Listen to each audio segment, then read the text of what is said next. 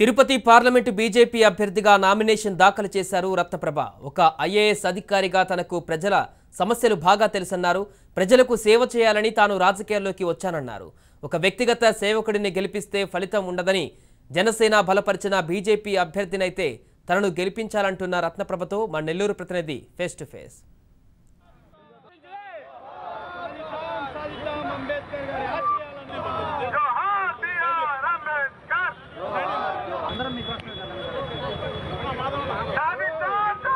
మీకు ప్రజలకు సేవ చేసే అభ్యర్థి కావాలి కాన్స్టిట్యున్సీకి లోక్సభ కాన్స్టిట్యున్సీకి ఈరోజు నామినేషన్ వేసి ఇప్పుడు వచ్చాను. మీ అందరిది మాకు సహకారం కావాలి. మా అధ్యక్షులు చెప్పినట్టు ప్రజలు ఇప్పుడు ఆలోచించే సమయం వచ్చింది. ఒక ముఖ్యమంత్రికి సేవ చేసిన మనిషికి ఓటేస్తారా? లేకపోతే నలభై సంవత్సరాలు ప్రజలకి సేవ చేసిన ఒక మనిషికి ఓటేస్తారా అని ప్రజలే ఇప్పుడు ఆలోచించే సమయం వచ్చింది. మాకు ఏమి నాకేమి గురుమూర్తి విరుద్ధం ఏమీ లేదు.